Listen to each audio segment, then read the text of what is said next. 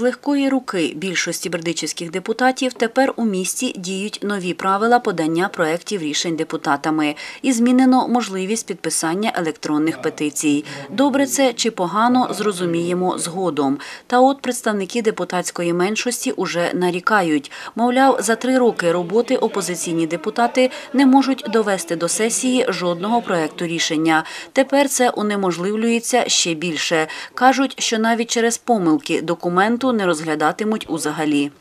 Їх і так футболили. Писали там, не відповідає законодавству чинному, там ще щось. А де не відповідає, ніхто ніхто не вкаже. Білий дім він не виконує свої функції початково, тому що дивіться, у нас там 200 чоловік працює, персоналу, які є фахівці у всіх сферах.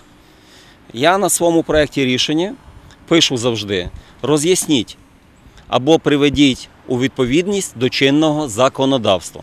Натомість мені його футболять, кажуть, не відповідають.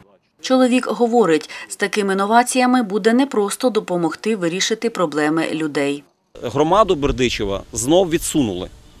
Тобто робиться все для того, щоб люди не приймали участі в обговоренні якихось проблем. У міській раді повідомляють, новими правилами деталізували подання проєктів рішень для всіх. Автор документу тепер має візувати проєкт у профільних заступників міського голови і добряче попрацювати над ним. Автор проекту рішень має подати ну, економічне обґрунтування, звідки мають джерела фінансування дан, даного проекту рішення. І ще дуже суттєво те, що і виконавці цього рішення, або яке це управління, або відділ, хто буде головним розпорядником чи виконавцем цього рішення, вони також мають бути. е, Заздалегідь е, ну, повідомлені про такий проект рішення і дати свої зауваження як фахівці, як люди, які працюють в цій галузі.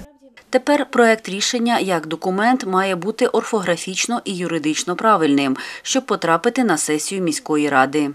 Можемо зробити одразу зауваження, якщо не вистачає пояснювальної записки, е, там порівняльної таблиці, якщо це стосується змін, або економічного обґрунтування, якщо це стосується витрат з міського бюджету. Якщо їх немає, цих недоліків, ми приймаємо даний проект рішення і організовуємо розгляд, попередній розгляд на постійних комісіях міської ради.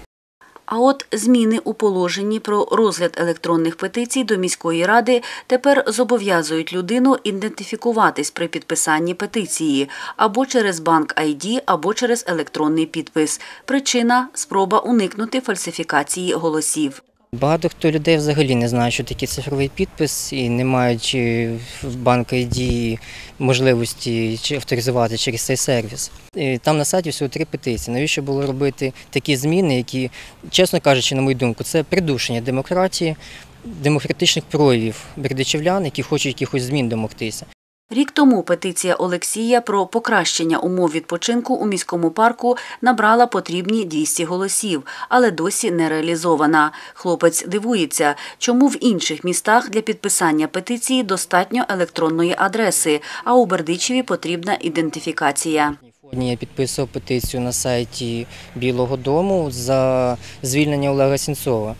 І я був вражений тим, що для того, щоб підписати петицію на сайті Білого Дому в Сполучених Штатах Америки, потрібно лише вписати своє ім'я, прізвище і емейл-адресу. Потім приходить підтвердження на пошту, що, ну, що це саме ви було, було ваше звернення, підтвердити емейл-адресу і все. І підпис поставлено. Ніяких ключів, ніякого підтвердження мобільного телефону.